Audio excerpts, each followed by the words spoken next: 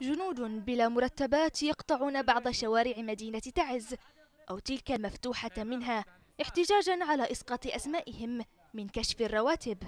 متهمين قيادة محور تعز بالتلاعب بالكشوفات المالية.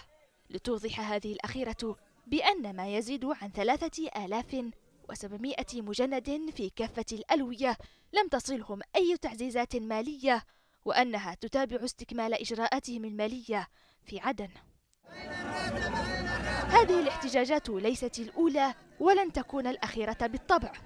فالمواطنون وجنود منهم لم يجدوا من خيار أمامهم إلا الاحتجاج بطريقة تبدو لهم الأقرب للوصول إلى متخذي القرار الأول في البلاد. الناس يعيشون دون وسيلة رزق مستمرة متمثلة بالمرتبات الشهرية.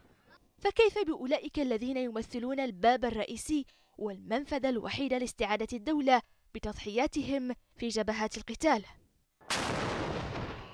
حتى أهم الطرق المؤدية للجمهورية نهم في صنعاء وصرواح في مأرب أبطالها محرومون حاليا من رواتبهم لشهور طويلة. معانا أمراض معانا كل حاجة توحد المعاناة المواطنين الرازحين تحت سلطة ميليشيا الحوثي والمخلوع.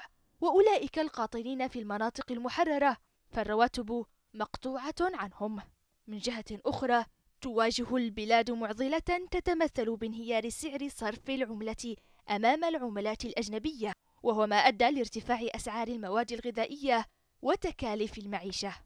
يرجع مراقبون سبب التدهور إلى نفاذ احتياطي البلد من العملة الصعبة وتعويم العملة وطباعة الحكومة لأوراق نقدية بدون غطاء ما تسبب في تدهور سعر الريال ليصل إلى نحو 430 في عدن في وقت يتوقع وصوله إلى معدلات أكبر.